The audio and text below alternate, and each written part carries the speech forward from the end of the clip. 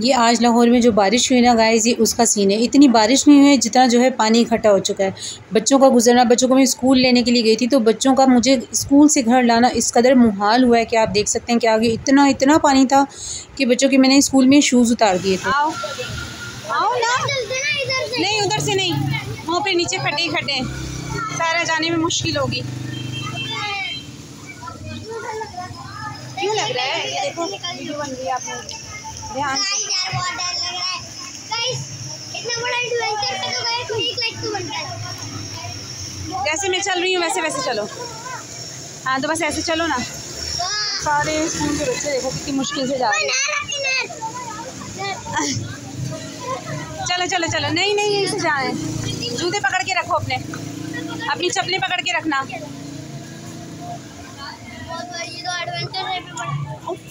आओ आओ आओ।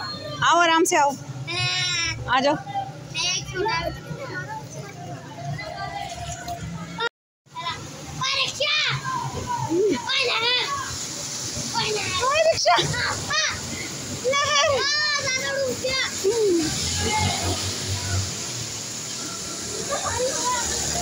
हाँ। जी।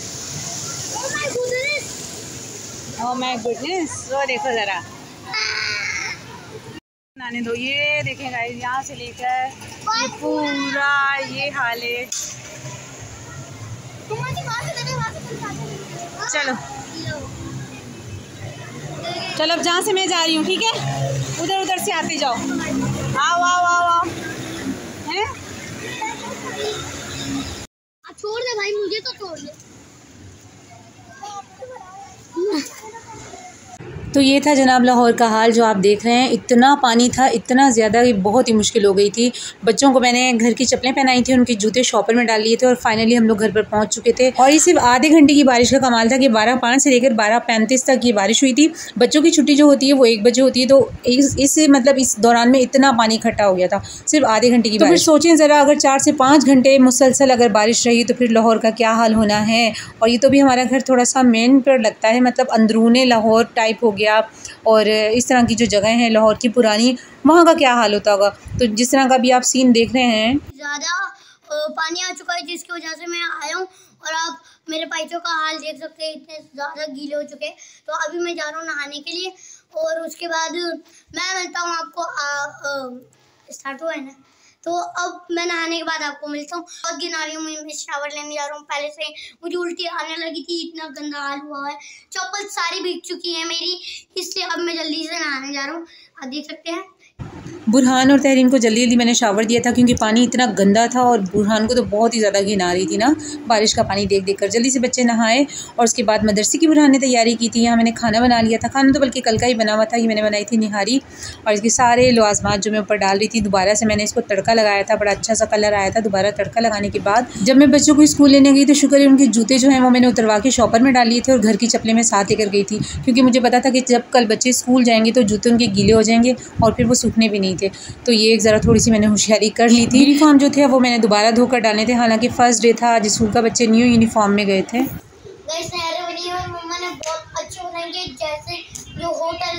हम्म, बुरहान तो कल की बनी हुई है लेकिन कल से बुरहान और ये सारे लवाजमात भी ख़त्म हो चुके हैं फाइनली अदरक डाली मैंने निकालूँ अदरक क्या खानी है आप लोगों ने?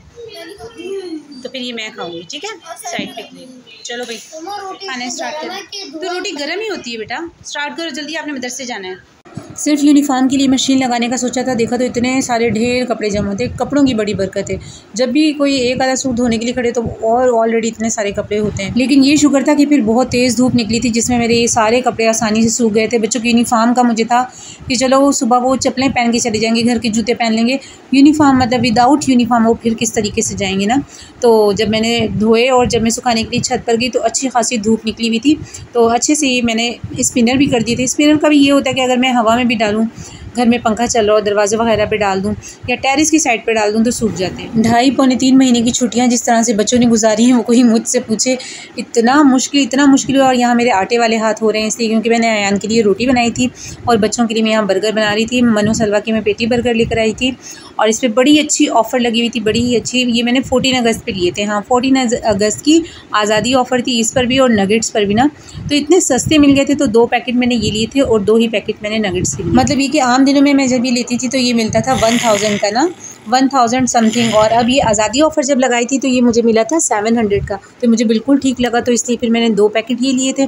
इसलिए होता है कि बच्चों के लंच की मुझे बड़ी आसानी हो जाती है, नगेट्स की और ये पेटी बर्गर की। तरीम बर्गर वगैरह खा लेती है, बुरहान जो है बर्गर घर में खाता है, स्कूल में नहीं खा सकता, वो उसे सारा कुछ ख़राब हो जाता है। यूनिफॉर्म वगैरह सब वो ख़राब कर लेता है। और तहरीम नहीं करती, उसको बर्गर वगैरह अच्छे लगते हैं इस तरह की चीज़ें। तो लंच में देने के लिए चीज़ें मतलब ऑफ़र में मिल रही थी तो मैंने तो बिल्कुल देर नहीं लगाई और मैंने फ़ौरन ही जब मैं ग्रॉसरी करने गई ना तो चावलों पर भी ऑफ़र थी मैंने चावल भी उठा लिए थे अच्छे मतलब स्टीम राइस और इस तरह की जिन जिन जिन चीज़ों पे आज़ादी ऑफ़र थी और वो सिर्फ़ चार से पाँच घंटे की ऑफ़र लगाई बड़े ही चलाक थे मतलब चार पाँच घंटे की ऑफ़र में इंसान कितना कुछ ले लेगा मतलब वो ये सोचे कि हाँ हमने क्या लेना है लेने के आए थे लें या ना लें इस तरह की कन्फ्यूज़न जो होता है मैं तो बहुत ज़्यादा कन्फ्यूज़ हो गई मेरे हस्बैंड मुझे कहने लगे कि भागते भूत की लंगोटी ही सही भली के या सही जो भी कहते हैं मतलब उन्होंने कहा यही समझो और जो तुम्हें सस्ता यहाँ पे मिल रहा है जिस पे ऑफ़र लगी हुई है वो कुछ ले लो। तुम अगर चाह रही हो कि सब पे ऑफ़र लग जाए, आज़ादी ऑफ़र जितनी भी मंथली ग्रोसरी हो सकती तो ऐसा हमारे पाकिस्तान में बिल्कुल भी नहीं हो सकता। खैर, इतना भी शुक्रिया कि उन्होंने इन चीज़ों पर ऑफ़र लगा दी थी मनो सलवा वालों ने, वरना सबरोसो और के एन एनस जो ब्रांड है, बहुत ज़्यादा उन्होंने तो वो तो कभी भी नहीं मतलब ऑफ़र लगाते ना।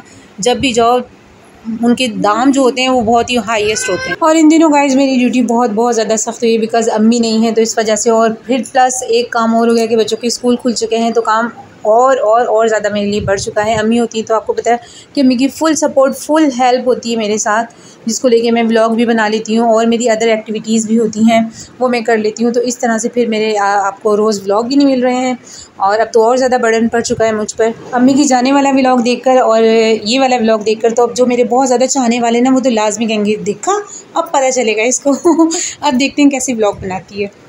तो गाइज़ ऐसा तो कुछ नहीं, कितने डॉलर मुझे आ रहे हैं यूट्यूब से, ये मैं आपको अगली वीडियो में तो लाजमी आपके साथ शेयर करूँगी। अम्मी जब लाहौर में थी, तभी हम लोग सोच रहे थे कि मैं, बुरहान, तहरीम, हम लोग जल्दी से सब को बताएँ कि हमारे कितने डॉलर आना शुरू हो गए, हमारी इनकम आ रही है, नहीं आ रही है, हम जल्दी से अपने व्यूवर्स को बताएँ। क्योंकि हर दूसरा बंदा, हर तीसरा बंदा, बस उसका एक ही सवाल होता है अर्निंग आना शुरू हो गई है इतना अर्सा हो गया, पैसे आ रहे हैं। अच्छा हाँ बोलो, तब भी उनको यकीन नहीं आता है कि हाँ नहीं हाँ बोलो तो उनको यकीन आता है, पता नहीं कितने आ रहे और ना बोलो तब तो बिल्कुल भी यकीन नहीं आता है। उनको मतलब वो समझते कि हम झूठ बोल रहे हैं। तो इसलिए फिर मैंने डिसाइड किया कि क्यों ना हम अपने व्यूवर्स को लाजमी ये बता ही दें कि हमारी कितनी अर्निंग आ रही है, कब से आना स्टार्ट हो गई है, और अब उस अर्निंग का हम क्या कर रहे हैं, किस तरह हम उस अर्निंग को अपने यूज़ में ला रहे हैं तो ये इन हम अपने एक अगली ब्लॉग में आपको तफसील के साथ मैं आपके साथ शेयर चलिए छोटे मोटे ब्लॉग्स तो आपको मिलते रहेंगे, इसमें चाहे मैं आठ मिनट का बनाऊँ, दस मिनट का बनाऊँ, आप सबको ही पता है यार मुझे कितना तंग करता है, उसको फिर देखना भी मुझे होता है और फिर ज़ाहिर है आपके साथ एक रूटीन भी मैंने शेयर करनी होती है। और व्लॉगिंग के चक्कर में तो हस्बैंड साहब की बिल्कुल भी कोई सपोर्ट नहीं है भाई, वो कहते हैं व्लॉग बनाओ, ना बनाओ शॉर्ट्स बनाओ, नहीं बनाओ, तुम्हारी अपनी मर्ज़ी, छोड़ती हो, छोड़ दो, मुझे कोई गर्ज़ नहीं है। जो लोग समझते हैं कि बड़े सपोर्टिव हैं, उनका बड़ा हाथ है इस चीज़ में, ऐसा कुछ भी नहीं ये बस आप समझ लें कि मेरा एक अपना मेरा शौक़ है और मेरी अम्मी का है, बहुत ज़्यादा मतलब कि मैं ये करूँ हाँ। और तीसरा मेरे बेटे का, तीन बंदे हैं सिर्फ़ मतलब मैं, मुझे बहुत शौक था कि मतलब कि मतलब मैं ब्लॉगिंग स्टार्ट करूँ ना मतलब मुझे बहुत ज़्यादा था। उसके बाद फिर अम्मी को भी है तो अम्मी को तो बहुत ही ज़्यादा है। कभी मैं खामोश हो जाऊँ, मुझे लग रहा हो कि व्यूज़ नहीं आ रहे हैं, ये है, वो है, अम्मी मुझे बहुत हौसला देती है। तीसरा जो है, इसका, इसमें सबसे बड़ा हाथ जो है, वो मेरे बेटे बुरहान का है। वो कभी भी मुझे डिसहार्ट नहीं होने देता, कहता नहीं ममा कह रही है कह रही है मतलब जारी रखना है।